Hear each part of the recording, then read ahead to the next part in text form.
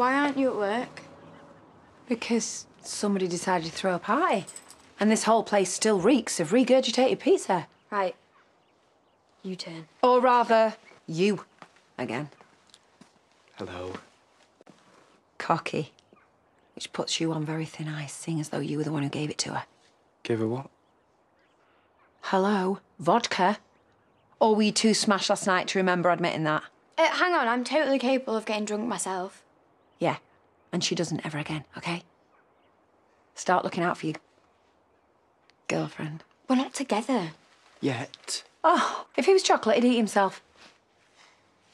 Oh, you're not sticking around to help me scrub the floor then, no? See ya. Um, hi. I could hear voices. Uh, No. Hello again. Yeah, come in. Casanova was just leaving. See you here. You know that party next weekend, yeah? That's good. I didn't really. Text me what's happening. But No, kind of like. Gorilla Granny. Yeah, well, you know how it is. False teeth, all bark and no bite. Um, fancy joining me for a toast? To my stupidity? You know what I hate the most? Having to always be the sensible one. Okay.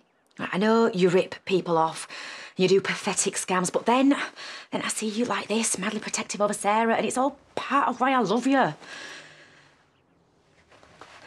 You love me. But I hate you lying to me. You just said you love me. Right, listen. We won't work if you keep doing things behind my back. And I can't be with you if I can't trust you. All I ask, all, all I've ever asked is that you're honest.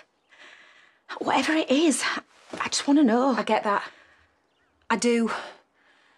All right, look, I promise I will never lie to you again. I swear. Babe, we belong together. Always. So,